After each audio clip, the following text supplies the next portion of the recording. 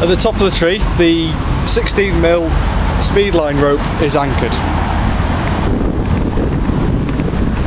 It's then attached to the green rope, which is part of the tensioner system, using the yellow rope grab.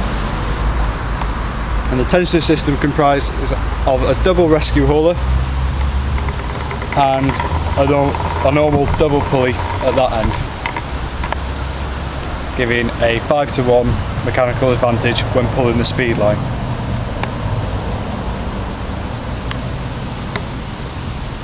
We pull, the pull on the rope, you'll see it starts to tension and puts tension through the orange line.